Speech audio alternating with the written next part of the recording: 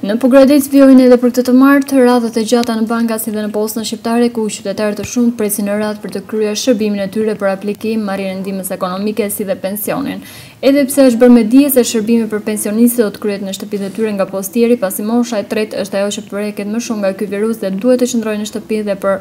asnjë lloj arsye nuk mund të dalin dot. Ajo çfarë vihet re është se tashmë qytetarët janë ndërgjegjësuar dhe ruajnë distancë nga njëri tjetri, por duke qëndruar kaq gjatë para këtyre subjekteve nuk do mund të mbarojnë punë në kohë pasi lejedalja është vetëm nëntëdhjetë minuta dhe radhët e gjata vijojnë të mbeten problem pasi nuk mund të mbarojnë punë të gjithë njëkohësisht. Patrulla e policisë është gjithmonë në rrugë për të shmangur grumbullimet e gjithë qytetarëve si dhe punonjësit e policisë bashkiake që qëndrojnë në gatishmëri për të mbajtur Këta qytetarë larg nga njëri tjetri pasi jo të gjithë janë të pajisur me maska, doreza, edhe pse jemi në një situatë ku ky qytet nuk është i prekur nga virusi Covid nëntëmbëdhjetë. Nuk mund të rrezikojmë duke dalë nga shtëpia pa asnjë lloj mase mbrojtëse. Tashmë